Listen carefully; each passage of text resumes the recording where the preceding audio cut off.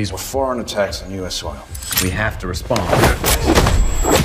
E bwana, kama ulimisi kumwona actor Michael B Jordan kwenye big screen, basi hii ni time yako kumwangalia kupitia movie mpya inaitwa Without Remorse. Neno Without Remorse kwa lugha nyepesi ya Kiswahili maana yake ni bila majuto ama bila kujutia. Hii ni movie ambayo story yake ni kutoka kwenye novel ya mwandishi anaitwa Tom Clancy yenye jina hilo hilo Without Remorse, novel ambayo ilitolewa Agasti 11, 1993, novel ambayo kwa kipindi hiko iliweza kukaa namba moja kwenye listi ya The New York Times bestsellers, na hii ndio sababu Without Remorse ni movie kali sana, na naomba nikubrief tu kidogo ya kwamba actor Keanu Reeves na Tom Hardy ni watu ambao mwanzoni kabisa walitakiwa kucheza nafasi hii aliocheza Michael B Jordan. Hashtag ni ile ile movies in Swahili. Karibu sana, mimi naitwa Snash. Tega sikio kwa makini nikwambie kuhusu Without Remorse, story ya movie, concept nzima na nini nimekipenda na nini sijapenda, na njoo tuana sasa hivi uje kuchukua movie kali ya Without Remorse. Tunapatikana Kinondoni Manyanya na Mlimani City kule Survey. Story ya movie inaanza kwa kuonyesha timu ya US Navy SEAL wakiongozwa na senior chief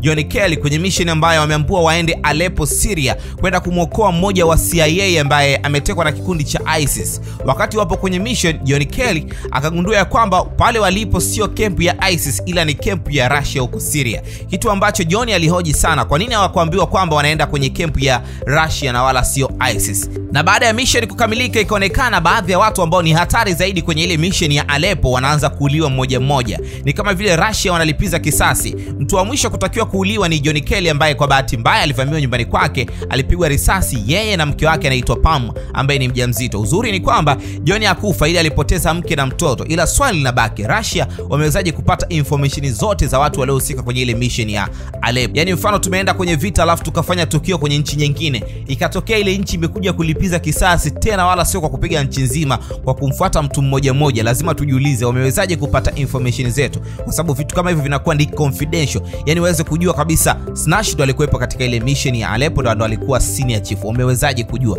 Kwa hiyo hilo ndo swali ambalo lilibakia.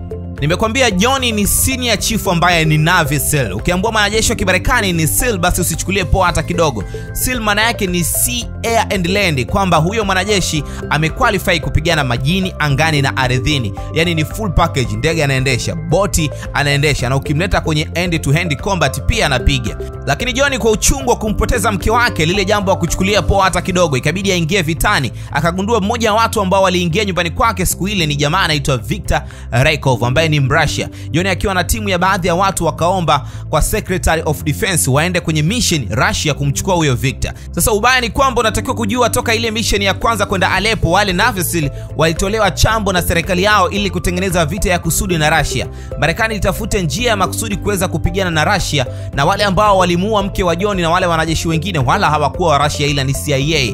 Na baada ya John kukubali kwenda Russia, walijua itazidi kuwa njia nzuri zaidi kuleta chokochoko Russia. Ukiangalia movie utaelewa zaidi, ila ukweli ni kwamba John adui zake ni Marekani mwenyewe. Hii ni movie ambayo concept yake inaelezea jinsi ambavyo system ya Marekani inafanya kazi. Siku zote wanaanzisha jambo wao wenyewe kwa makusudi, wakiamini ya kwamba hilo jambo likifanikiwa, kuna njia ambayo taifa linanufaika. Mfano kama Russia hapa ingeingia vita na Marekani, basi ingekuwa njia nzuri sana ya Marekani kuuza silaha kupitia watu wake wa karibu. Yani Russia ingepigana na Marekani, lakini popote pale ambapo angenunua silaha, basi lazima zingekuwa ni silaha za Marekani. Vita ingeisha, Russia uchumi ungeyumba, Marekani yeye ah, mpunga wake anao wa kutosha kabisa. Mfano mzuri ni vita ya pili ya dunia. Kwenye ile vita Marekani ya kupigana, ili aliuza tu silaha, jambo ambalo limemfanya Marekani kuwa juu hadi leo. Lakini pia ukiangalia vizuri series ya Snowfall utaelewa pia jinsi ambavyo CIA wanafanya kazi yao. Lakini kitu ambacho nimekipenda zaidi kutoka kwenye hii movie bwana, nimependa kwanza story ya movie, lakini pia nimependa ile CGI ambayo imetumika kwenye ile movie. Ukiangalia CGI ambayo imetumika katika ile movie, kwa mfano kwenye ile scene ambayo Russia wanaitungua ile ndege ambayo imepanda John na wenzake kuingia Russia bana, ile CGI ni noma kinoma noma. Ila kitu ambacho mimi sijakipenda bana ni hii movie kuwa ni movie. Nimependa ingekuwa ni series. Unajua, ili uenjoy story yoyote ya Tom Clancy, wewe angalia uh, series yake, mfano kama ile series ya Jack Ryan, yani ukiangalia una enjoy kinoma noma, although ni movie kali sana. CIA doesn't support any further investigation into your wife's murder.